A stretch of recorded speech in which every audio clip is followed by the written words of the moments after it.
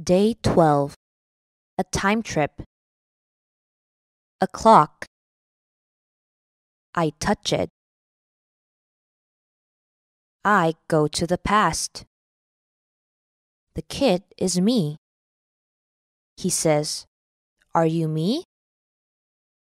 I say, Yes, I am you.